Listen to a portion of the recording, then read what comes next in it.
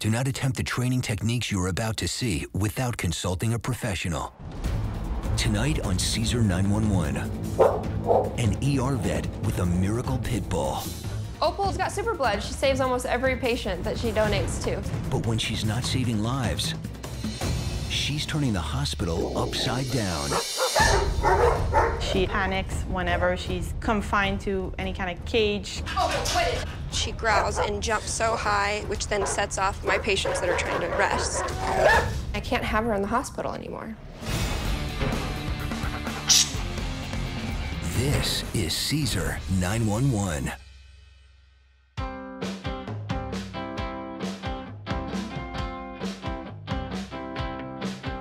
Cesar's first 911 call comes from Natalie, who manages an animal hospital that is having big issues with the doctor's pet pit bull, Opal. Hi, nice to meet you. Pleasure to meet you. Welcome to my office. Thanks. so how can I help you?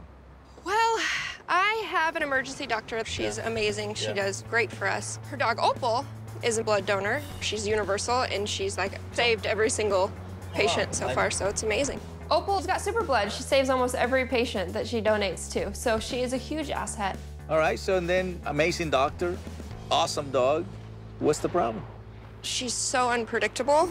I, I don't know what she's gonna do. You put her behind a crate, she growls and jumps so high, she barks like crazy, which then sets off my patients that are trying to rest. We have lots of dogs trying to rest and recover from medical procedures, and Opal's behavior in the kennels is really hindering their recovery progress.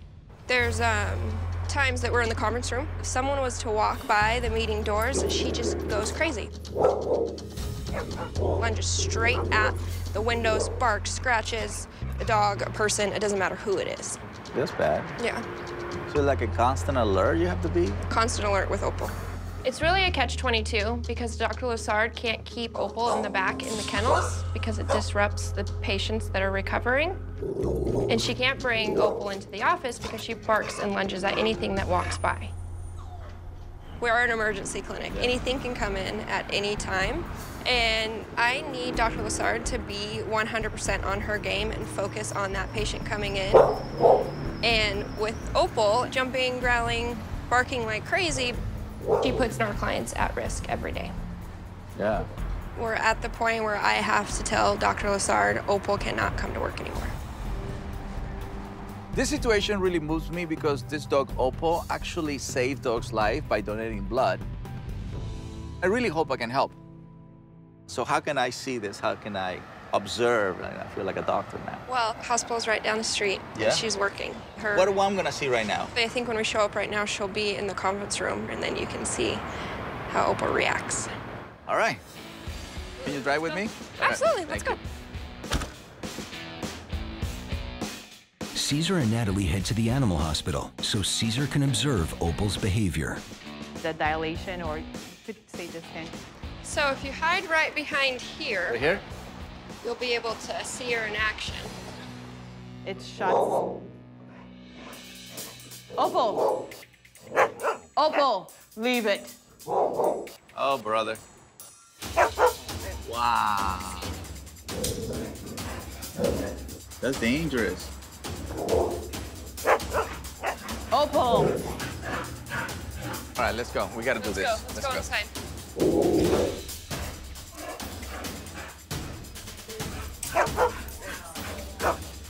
Doctor? Uy. Wow. I'm Dr. Claude Lessard. I'm an ER vet at Veterinary Medical and Surgical Group in Orange County. Great, we're gonna ultrasound this guy. I have a two-year-old pit bull named Opal.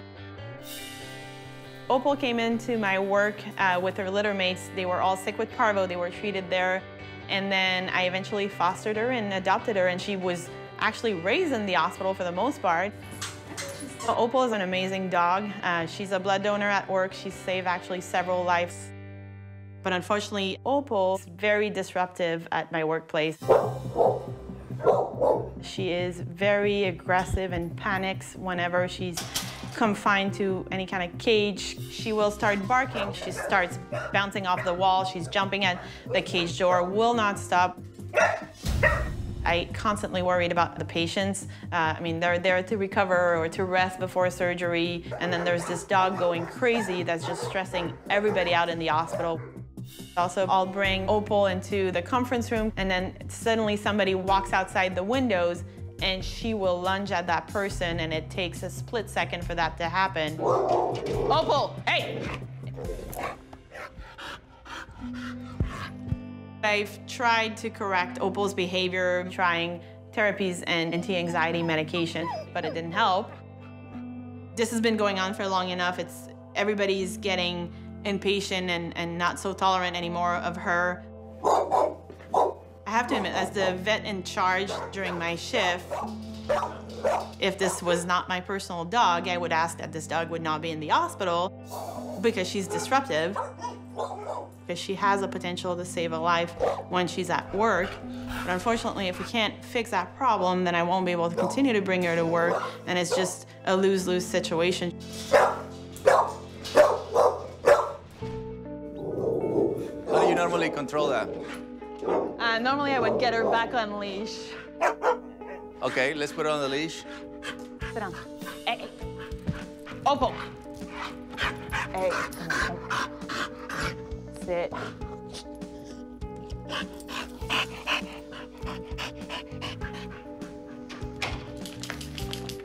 What do you think? How do you how does she feel? She's calming down, but she's still super alert. That's coming down? That's the start of it. Okay. Opal was anything but calm under Dr. Lessard. I need to see how intense the situation was under my supervision. So I have my team walk more dogs by the window. Here, bring me the dog, bring me the dog. It's a little distracted. See how she's paying attention over there and not here? There we go, right there. Hey. That's what I wanted. Bring it, bring the dog back. Give me these people back. This is like a surgery. There you go. Stop. Tell her to stop.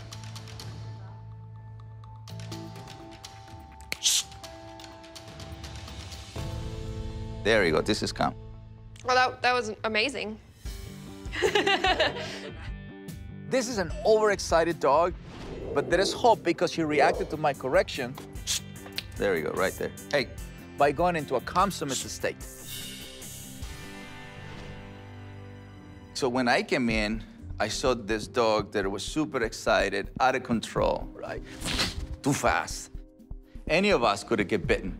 If she can't get to what she is chasing, she's gonna redirect this eventually. And that becomes very dangerous. Hearing Cesar say that he's seeing the issues, he's seeing how serious those issues are, and he's wanting to help. So I'm, I'm really glad and thankful for that. All right. Is it making sense, doctor? doctor? Yeah. This is We're the kennel? go straight to the bath. Now Cesar wants to work with Opal on the other big problem her behavior when she's put in a kennel.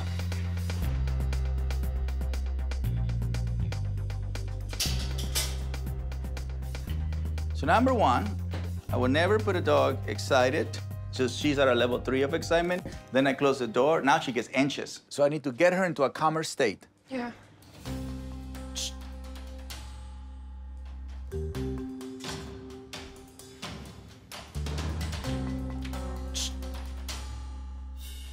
This is bad. This is gonna change. Just the way she looks is too intense. Especially a pit. Just better. I was able to bring Opal into a calm state, but now I need to test her by bringing another dog near her. Come on, lady.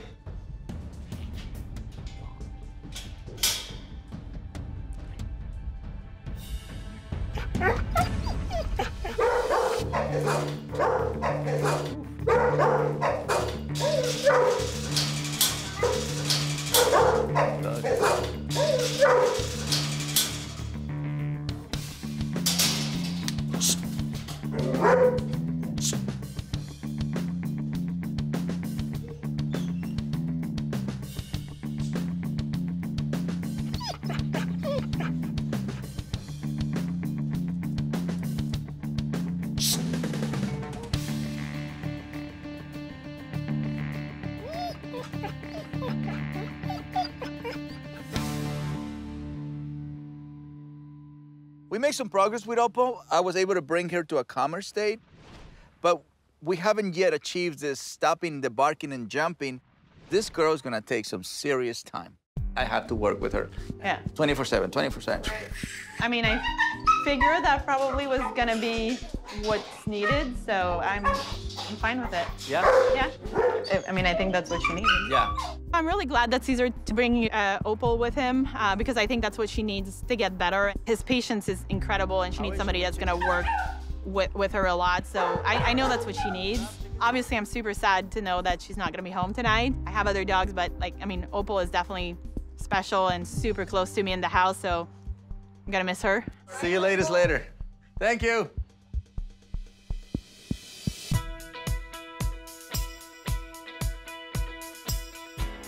Opal's a very excited dog with tons of energy. So the first thing I'm gonna do is drain some of that energy, both mentally and physically. Normally what I do when I go on the swimming pool is I put a leash, I ask the dog to go on the ramp, bring it down. This way I'm not gonna do that. I'm just gonna skip that part and I'm gonna bring her in. So it creates a shock because she doesn't know how she got there. So the more she goes to that, the mind drains. I'm gonna have her on the side of me and I'm gonna wait until she completely just become very, very um, slow with her strokes.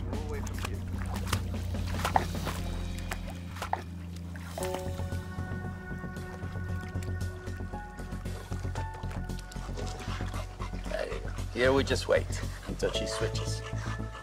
There you go. This is the equivalent of a lap pool, and it's a current coming from the other side of the pool, but the human doesn't really go anywhere. It usually takes 15 minutes for a dog to show a change in the energy level. I really want this dog to be absolutely drained.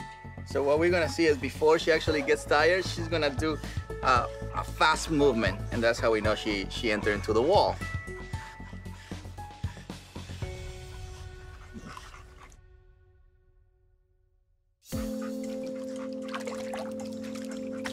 There you go, there you go. I'm actually learning what it takes to, to drain her. So now she's getting, she, she's getting uh, desperate. Desperate makes them, makes them release energy. You see this slowly? Yeah. Yeah.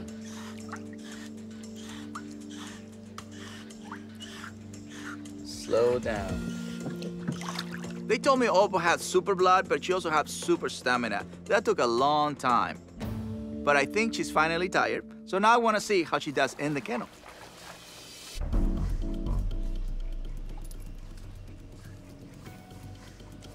Just placing, just like I'm placing this dog that is getting too tired into a better place. Ready, my friend? I'm coming. That's all right. Leave it over.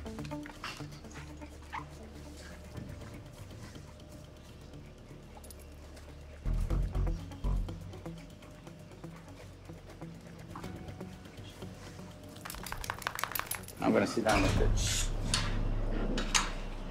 and wait till she relaxes.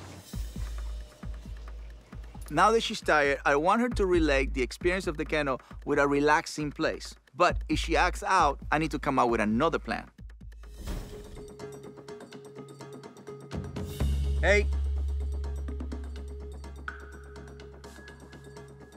The tiredness is gonna hit because now she's physically tired.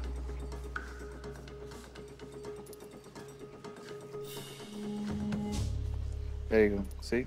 She just got into what I'm looking. You can see now how the eyes are closing down. The tiredness just hit her. Okay, so now this is all her. I just gave a little bit of direction. Very, very mind. Look, I'm sitting down, teaching her. I just need a margarita right by, right about now. Or Bloody Mary. I'm a Bloody Mary guy. Look at that. Look at that. Look at those eyes closed. Look at that. She can't help herself. This is a huge difference from the first time I saw Opal in the kennel. It took a lot of exercise and a tons of patience. But now Opal can associate the kennel with a happy place to rest. You need to know what the dog is thinking. You need to know what the dog is feeling. It's like playing chess. You need to know when to move certain pieces. And then chessmate. This is chessmate. I'm very pleased.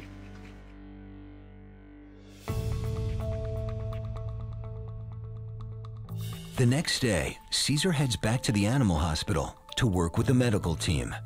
It's gonna take a village to help Opal at the hospital, so I'm going to work first with the staff, then I'm gonna work with the doctor. Opal needs consistent direction from everyone to keep her calm so she can keep continue saving lives. Okay? So I'm moving because I'm demonstrating an excited dog, any movement they follow. Yeah, she can't follow. You see it? Yeah. Yeah. So if you don't mind, just get up and she's probably gonna move. and she moves, you send her back.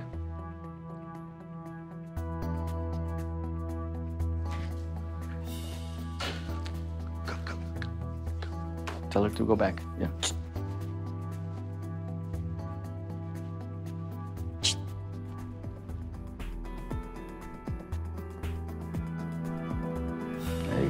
Go. Bring me the dog. Bring me the dog. The hospital staff did great. All the exercise at the DPC really paid off to make Opal a more relaxed dog. Now we need to see if she stay relaxed when all the dogs pass by the window. That always turned her off in the past.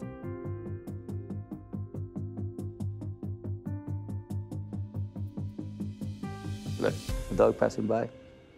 I can't believe she's not moving. I know. Yeah. W- We're just gonna transfer this state of mind inside a crate. Now that the staff has been able to keep Opal calm in the conference room, Cesar wants to work with them and Dr. Lessard in the kennel.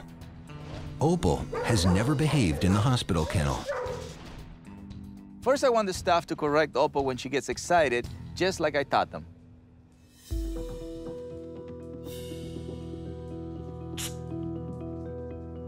Oh, she got it. Your turn.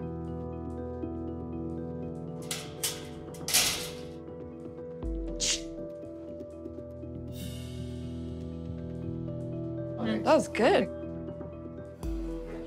Your turn, doctor. You get that she hasn't seen me like yet back Nah, there. She's probably that's gonna react. the react. challenge. right. That's the challenge. Why do I feel like this is not gonna work? I was definitely nervous following everybody's perfect execution. I know it can work, but I've never gotten Opal to stay calm in the kennel before.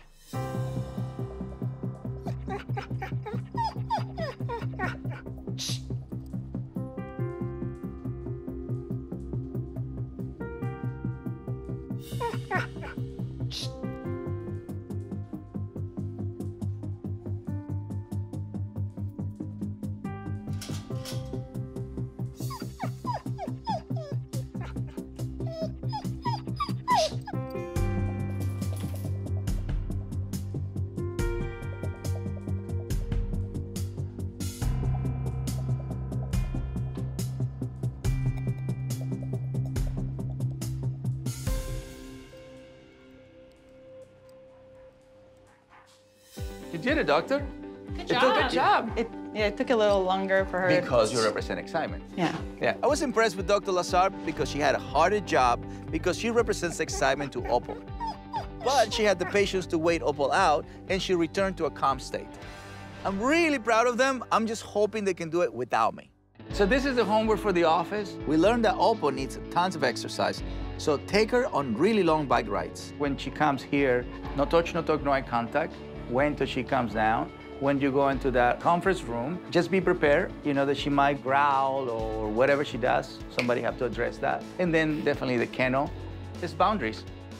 We all learned a lot today, and it's amazing to see Opal uh, calm in the hospital, really for the first time. Uh, I think we're all gonna work really hard. I don't wanna let Opal down, and I don't wanna let Cesar down.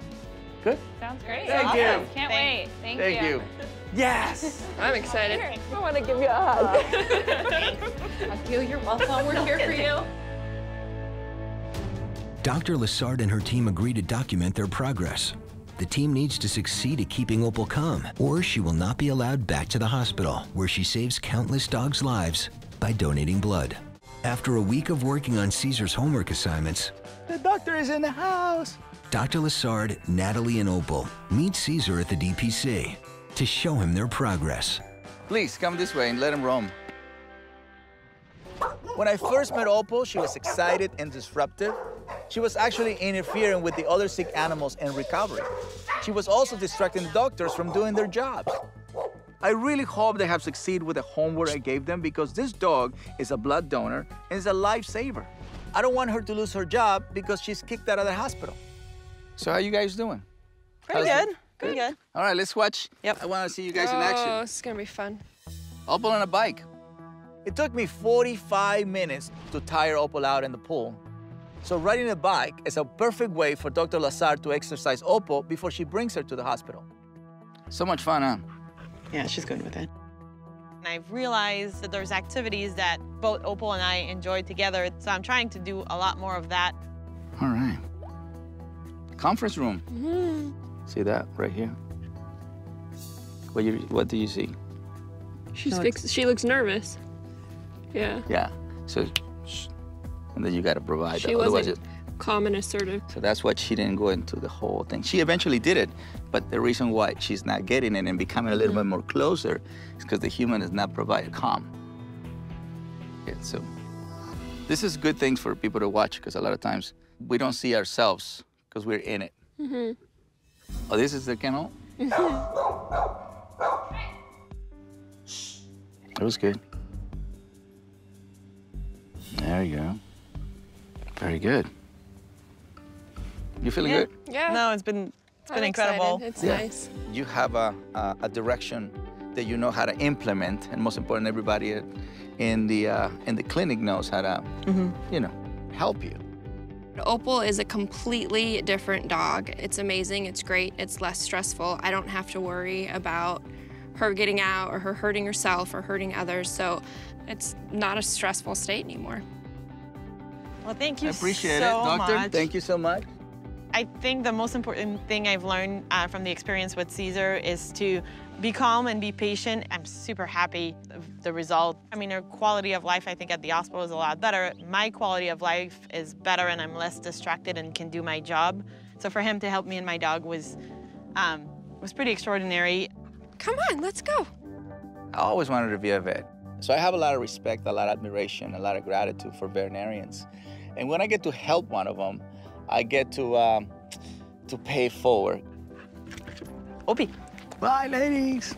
For me, this scenario, besides helping beautiful Opal, is to give a vet a prescription of how to actually help her dog to donate uh, not just blood, but also great energy. I really like it.